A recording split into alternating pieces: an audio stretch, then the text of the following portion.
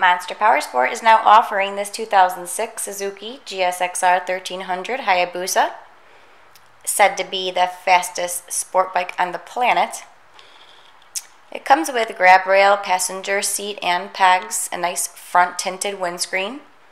It has Yoshimura exhaust. The inside of the wheel well has been sprayed pink, and the bike is a matte black. You can check this bike out more closely with all that it has to offer at www.monsterpowersport.com.